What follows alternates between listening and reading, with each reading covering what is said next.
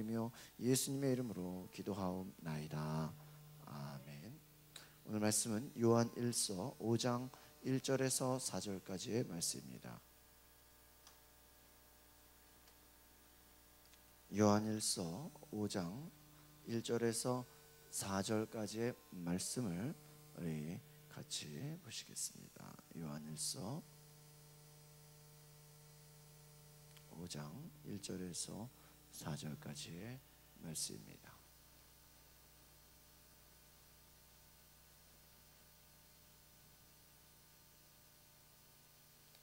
요한일서 5장 1절에서 4절까지의 말씀입니다. 시작.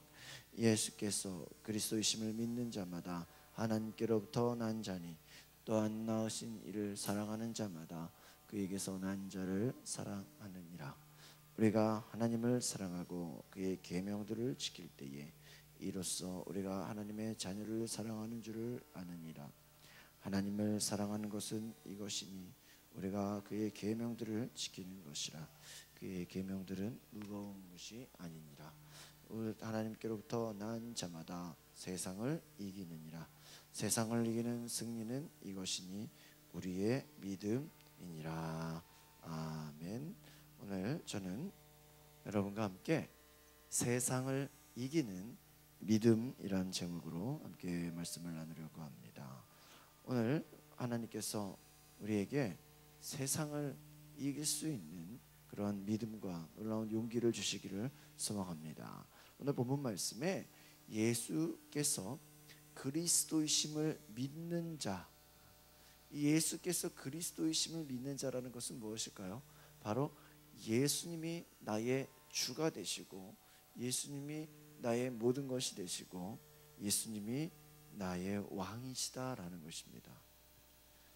이렇게 예수님이 나의 왕이고 주인이시고 나의 모든 것이라고 고백하는 자들에게는 바로 하나님께로부터 났다라는 것입니다. 그래서 이 하나님께로 난 자, 바로 그러한 자들은 바로 하나님께서 그를 사랑하신다라는 것입니다. 그래서 여러분 하나님을 사랑하고 그 계명을 지킬 때에 우리가 하나님의 자녀를 사랑한다라는 것입니다. 그러니까 여러분 우리가 하나님의 말씀을 지키는 것은 이번에 웨슬리의 심성회의 그 목사님께서 강조하신 것이 무엇입니까? 우리 기독교가 말씀을 따라 지키고 행하지만 말씀을 따라 지키고 행하지만 그 안에 하나님이 계시지 않으면 아무 소용이 없다.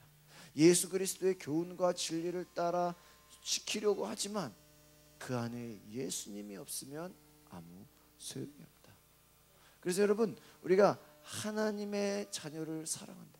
바로 우리가 예수 그리스도를 사랑하기 때문에 우리가 예배드리고 예수 그리스도를 사랑하기 때문에 우리가 바로 하나님의 계명 그 말씀을 지킨다라는 것입니다. 우리가 주님을 사랑한다라는 것은 바로 이제는 우리가 그의 말씀을 지킨다라는 것입니다.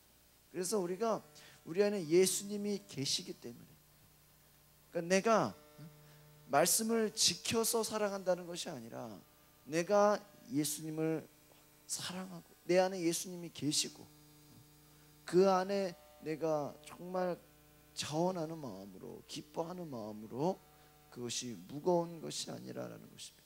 그래서 여러분 세상을 이기는 승리가 무엇이라고요? 우리의 믿음이다라는 것입니다. 부천 성직교회의 한희철 목사님이 이런 말씀을 하셨습니다. 믿음에 대한 성경 속의 이야기로 모세가 태어나는 위기적인 상황을 기록하고 있습니다.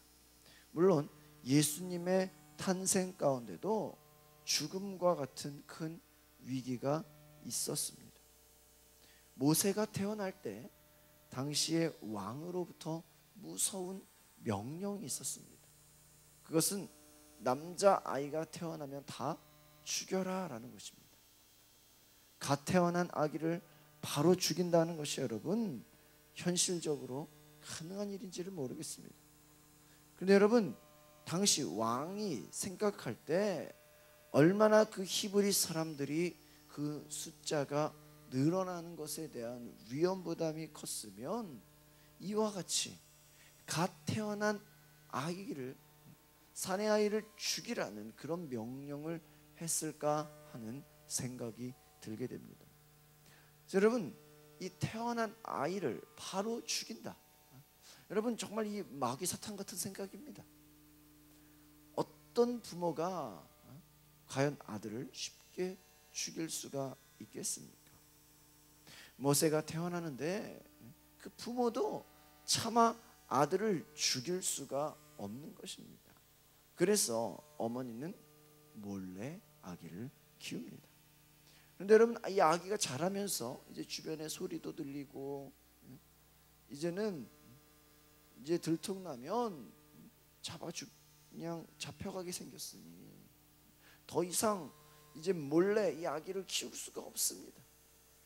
계속 숨길 수가 없으니까 결단을 내립니다. 바로의 군대가 히브리 집안을 불시에 단속할 수도 있어요. 갑자기 들어와서 아이가 있냐?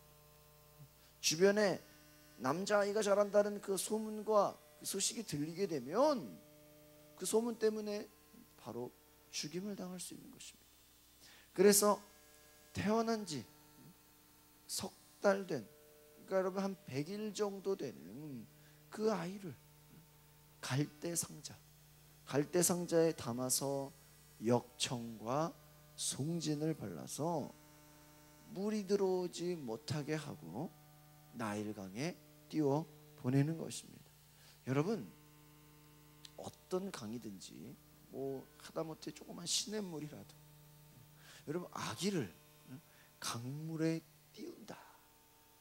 모세의 어머니 요게벳의 심정은 이제 더 이상 사람의 방법으로 어떻게 할 수 없는 정말 인생 최고의 절망과 그 위기에 너무나도 불안한 마음일 것입니다. 여러분 이제 더 이상 인간의 방법으로 사람의 손으로 할 수 없는 것입니다. 그래서 여러분 이 아이의 모든 생사가 인간의 손이 아닌 하나님의 손에 달려 있는 것입니다.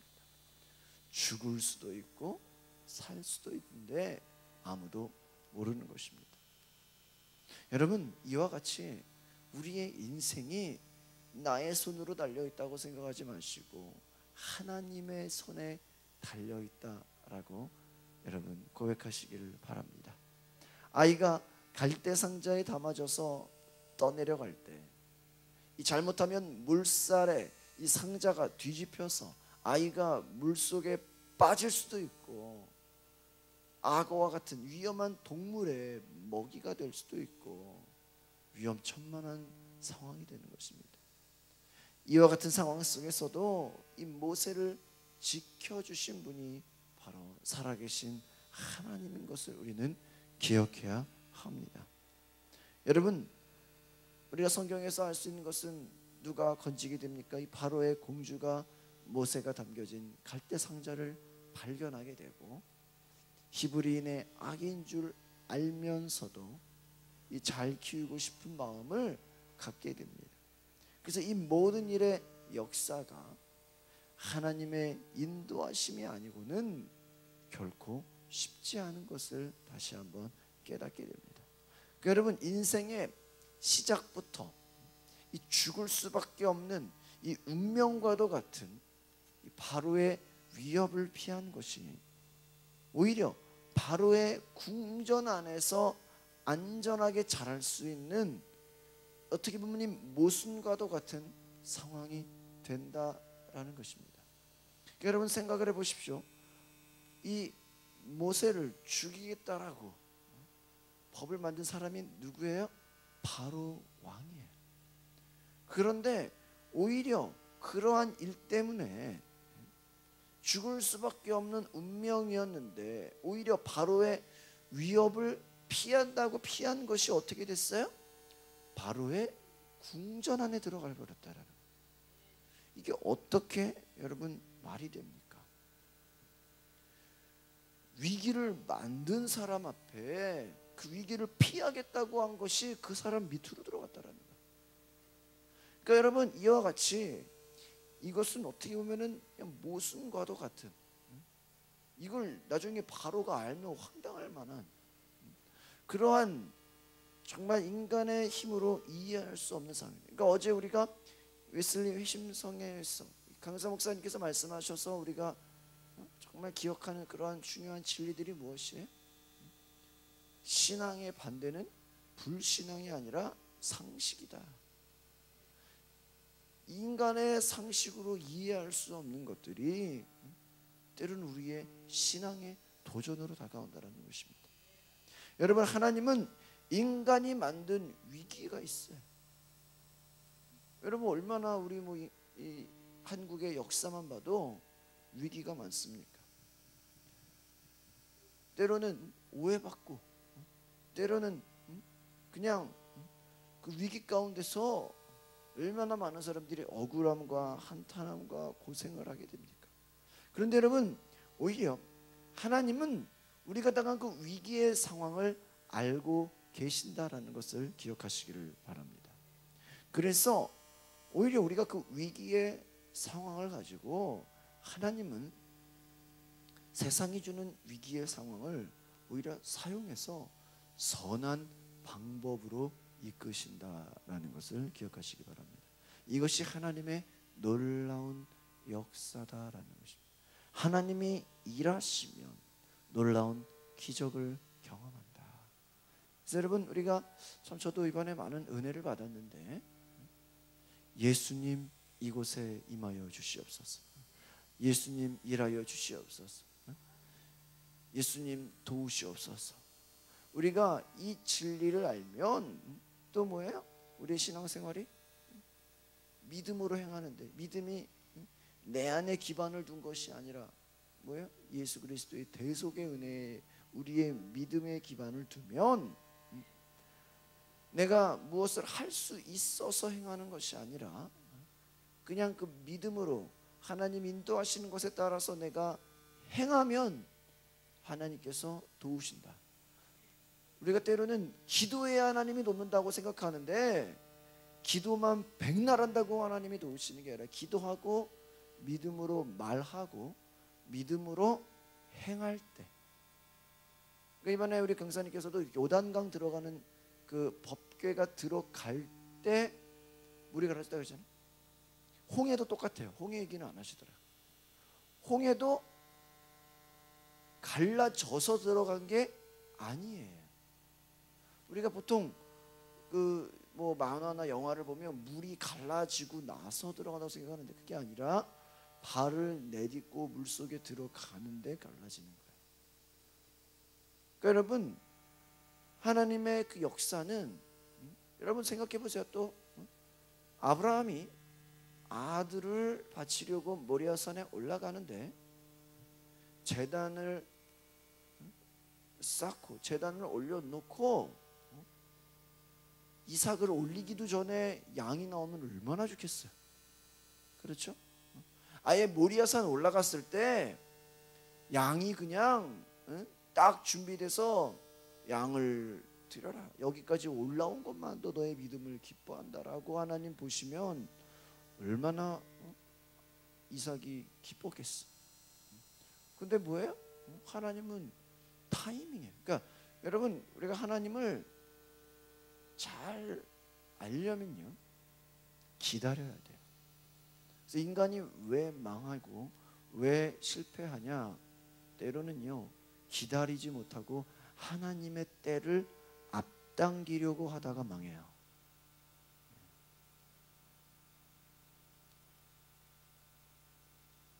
산모가 아이를 열 달을 잘 그 때를 기다려야 되는 거예요. 빨리 낳겠다고 빨리 나와버리면 인큐베이터에 들어가야 되는데 그게 엄청나게 비싸요. 하나님의 때도 마찬가지예요. 그래서 저는 정말 믿음은 무엇이냐? 기다리는 것이다. 그러니까 이번에 강사님께서 첫날에 저녁에 말씀하신 것이 뭐예요? 인간의 믿음의 깊은 곳에는 뭐가 있어요? 불신앙이 있다. 제가 이번에 그 웨슬리 회심성회 유튜브에 다 올려버렸잖아요. 강서지방을 클릭하든지 우리 가양제일교회를 클릭해도 나올 수 있게 해놨어요. 왜? 우리 교회 성도들 다 보라고요. 자 이번에 또 느낀 것 중에 무엇입니까? 인간은요. 인간의 그 깊은 마음 속에는요. 하나님이 아닌 다른 것에 의존하려고 하는 하나님은 눈에 안 보이잖아요. 근데 안 보이는 것에서 보이는 것으로 의지하려고 하는 또 하나 우리는 하나님께 끊임없이 기도하고 하나님께 기, 도함으로 우리가 인생을 살아가는 것이 물고기가 물을 떠나서 살 수 없는 것처럼 우리는 하나님께 기도함으로 살아가야 되는데 그 인간의 깊은 그 불신앙 가운데는 뭐가 있어요? 기도하지 않고 살고 싶어하는 마음이 있다. 그래서 물질을 의존하려고 하고 사람을 의지하려고 하고 내 경험과 능력을 의지하려고 하고 내 쌓아놓은 환경을 의지하려고 한다는 것이 여러분 그렇게 생각하다 보니까 하나님이 일할 수가 없다라는 것입니다. 여러분 하나님이 일해야 놀라운 기적을 경험하게 되는 줄 믿습니다. 우리 인간에게는 누구나가 다 한계가 있습니다.